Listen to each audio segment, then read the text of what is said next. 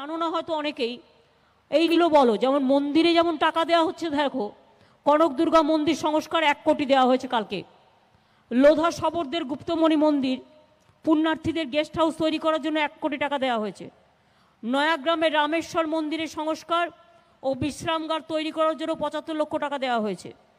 Jhargram municipality ROS ওই মানে road over ব্রিজে সার্ভিস রোডটা করার জন্য এখানেও পঁচাত্তর লক্ষ টাকা দেওয়া হয়েছে।